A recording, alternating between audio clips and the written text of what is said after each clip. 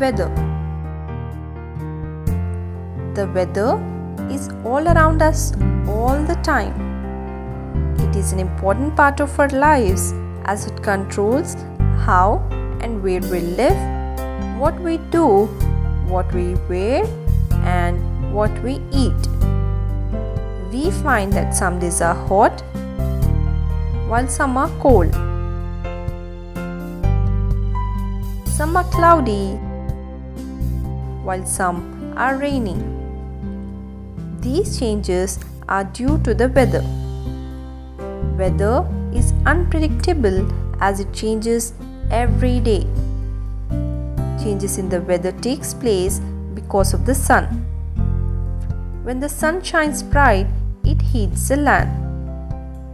In such case, we feel lot of heat and sweat. We drink plenty of water during a hot day because we feel more thirst. Cotton clothes are the best to wear on a hot day. The hot days are for some months during a year. This period is called as the summer season. During rainy season, the weather is cloudy and wet. We can see rain during this season.